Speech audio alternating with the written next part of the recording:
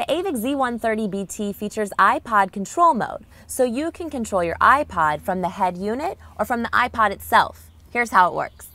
Sometimes your passenger wants to play DJ. They want to pick up the iPod and pick the song that they want to play.